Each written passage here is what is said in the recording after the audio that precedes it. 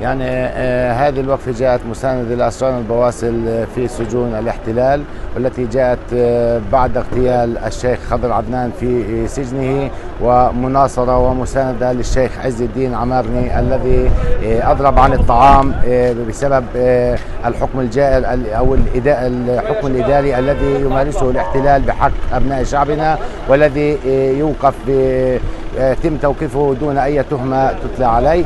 وبالتالي هذه الوقفة احتجاجية على اغتيال الشيخ خضر عدنان وعلى ومساندة للشيخ عز الدين الذي آه، نال مطالبه بعد أن أقضى آه، وقتا في الإضراب عن الطعام. وهنا لابد أن ننوه بأن هنالك سياسة جائرة للاحتيال التي يمارس فيها سياسة الاغتيالات التي بدأت تتضح آه، معالمها وتمارس على الاسرى المرضى وتمارس على الاسرى بشكل عام في سجون الاحتلال ومن هنا رسالة أهالي يعبد بأنهم متضامنون ومؤازرون لأسرانا البواسل في سجون الاحتلال.